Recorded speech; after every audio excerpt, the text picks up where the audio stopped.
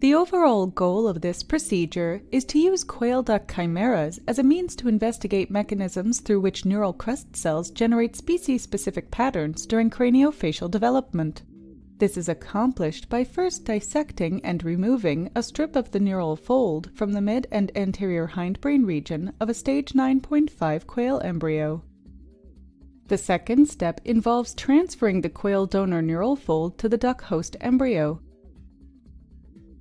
The third step involves dissecting and removing the equivalent region of a stage 9.5 duck host embryo. The final step is to place the quail neural fold into the duck mid and anterior hindbrain region.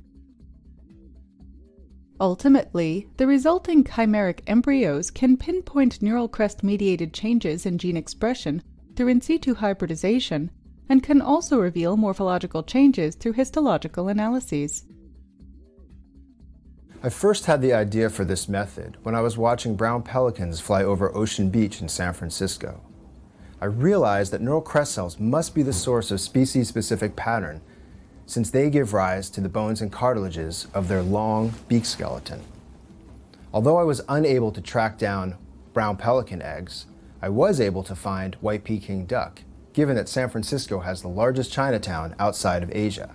By exploiting the differences in the rates of maturation and morphology between quails and ducks, this method can help us answer key questions in developmental biology, such as understanding the origins of species-specific pattern.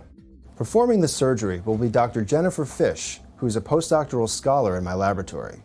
Assisting will be Kate Woronowicz, who is a graduate student.